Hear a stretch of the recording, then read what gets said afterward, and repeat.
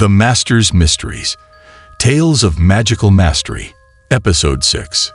In the morning, as the sky brightened, Liao Fengyi woke up from his slumber.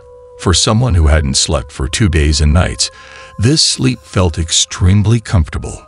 Ah, slept so well. According to the old road's suggestion, they should find a village to stay for the night. However, Liao Fengyi had been living in the mountains since he was young and had already gotten used to it. He and the old man found a sheltered cliff, lit a fire, and spent the night. Master Dao, did you sleep well last night? Let's tidy up and hit the road. Liao Fengyi silently mocked himself. The old man was nagging about this matter all night. It's not like he dislikes it, but rather finds it troublesome. These people in the martial world are so pretentious. But when Liao Fengyi turned his head to look at the old man, he was immediately stunned. At that moment, the old man was sleeping so soundly, snoring loudly. Help! What? What's wrong? In this peaceful morning, a cry for help suddenly came from below the cliff, startling not only Liao Fengyi, but also the sleeping old man. Oh no, that beast is going to harm someone. Without bothering to pack their things, they hurried to the edge of the cliff and looked down, only to be surprised by what they saw. Let's go. Let's go down and take a look. It turned out that below the cliff was a small mountain path, and at that moment, a wild howling black dog was viciously attacking an old man. Don't. Don't come closer. The old man on the mountain path appeared to be in his 60s, and he was frightened by the ferocious black dog chasing him. He ended up sitting on the ground in a panic. Seizing the opportunity, the ferocious dog barked loudly and pounced on him. Ah, this crazy dog was truly vicious. As soon as it pounced on the old man, it bit his arm and then shook its head, tearing off a large piece of flesh. You, you're crazy. This ferocious dog didn't look like a stray dog, but rather a domesticated one. However, for some reason, it seemed like a starving wolf, swallowing that large piece of flesh whole. Its bloodshot eyes focused on the old man once again. Before the old man could recover from the fear of having his flesh torn off, the ferocious dog let out a strange howl and lunged at the old man's throat. Beast, stay back. Seeing that he was about to be killed by the ferocious dog, the old man truly felt despair. However, at that moment, he suddenly saw a figure rushing towards him, followed by a flying kick that sent the mad dog flying. Old man, are you all right? It was, of course, Liao Fengyi and the old man who had arrived. The old man was clearly dumbfounded by the sudden turn of events. Despite the old man calling out to him several times, he remained silent. Old sir, you're safe now. Please get up. I, I was so scared. Dao Yi, there's something wrong with this mad dog. While the old man took care of the old man, Liao Fengyi's gaze never left the frenzied dog. He gradually noticed something peculiar. This mad dog not only went insane, but it also seems to have no pain sensation. As the saying goes, dogs and wolves are tough, but vulnerable in the waist area. Logically speaking, Liao Fengyi's kick should have been forceful enough. Yet this ferocious dog seemed unaffected by pain. It got up once again. Cock-a-doodle-doo. Moreover, the injuries on its body made it even more furious. Its eyes turned completely bloodshot, and it viciously locked onto the three people. Howl. Then, with a mouth full of sharp fangs, it leaped forward with a strong push from its hind legs, once again attacking the group. This dog is definitely abnormal. Afraid that the ferocious dog would harm anyone else, Liao Fengyi quickly moved and stood in front of the two old men, directly confronting the raging dog. The mad dog, unaware of the danger before it, lunged at Liao Fengyi fiercely, like a black lightning bolt. Liao Fengyi knew that this kind of beast was agile, so he waited until it was only a foot away before swiftly dodging.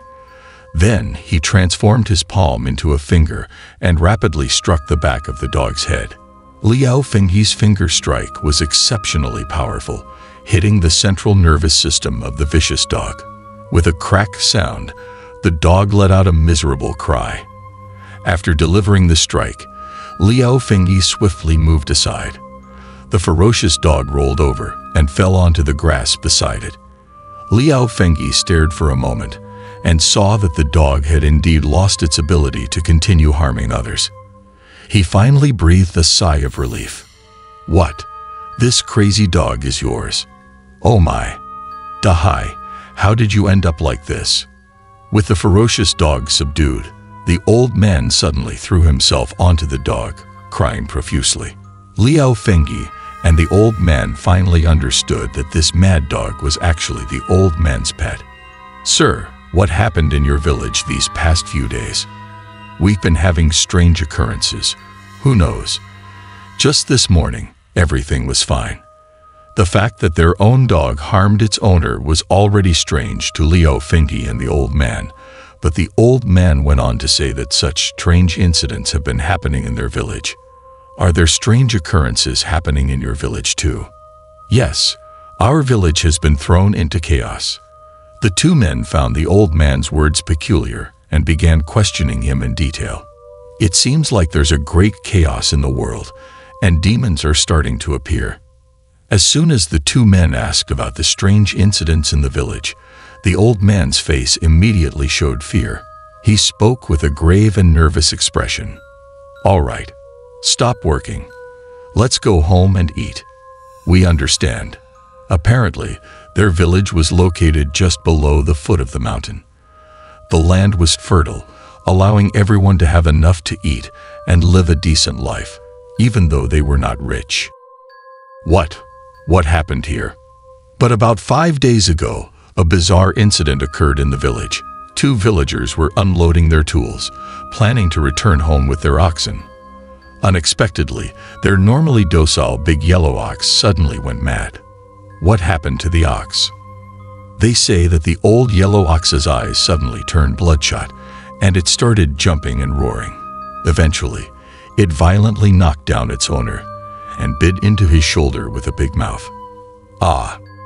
Then it twisted its head and tore off a large piece of flesh from the owner's shoulder with the skin and blood and swallowed it in one gulp. You see, this ox is a herbivorous animal so eating human flesh is something unprecedented. Has this animal turned into a demon? Old man, are you okay? This action left the two witnesses dumbfounded.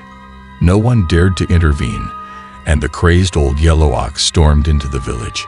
The old yellow ox rampaged through the village, injuring several people and almost causing fatalities. But unexpectedly, it charged into the stone wall to the south of the village, causing its brain to splatter, and it died on the spot.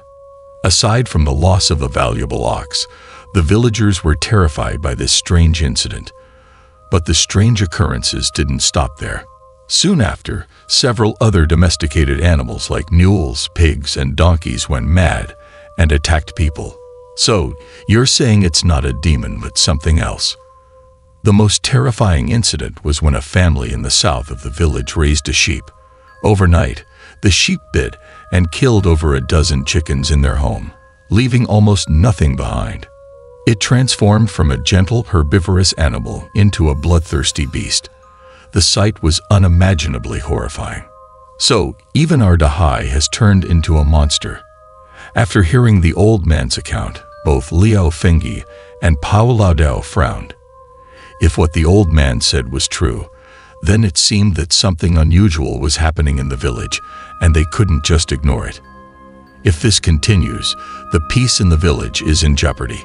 However, at that moment, no one noticed a plump little insect silently crawling out of Dahai's ear. Dao Master, shall we go and take a look at the village? That's a good idea.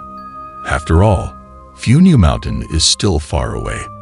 Just as Liao Fengyi and Pao Laodao were discussing whether to visit the village or not, the little insect quickly crawled into the old man's ear. We'll pass by the foot of the mountain anyway, so it's a good opportunity to visit.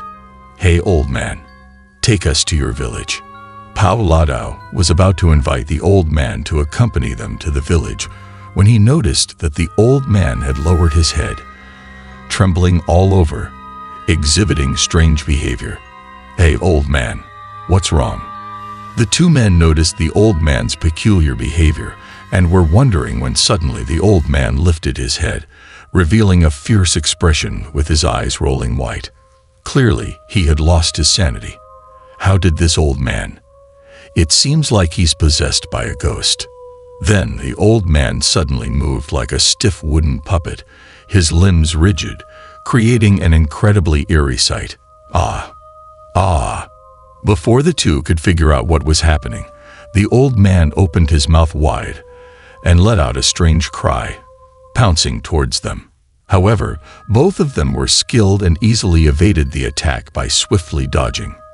After missing his attack, the old man swiftly changed his position and targeted the two again. He then leaped towards them, his legs springing forward. At this moment, he no longer resembled an old man, but exhibited agile and nimble movements. Oh no, this old man has lost his sanity. We can't harm him, but this is really troublesome. Now, the two were in a difficult situation. Just a while ago, the old man was a normal person, but for some unknown reason, he had gone mad. They couldn't harm him, but they also couldn't allow themselves to be injured.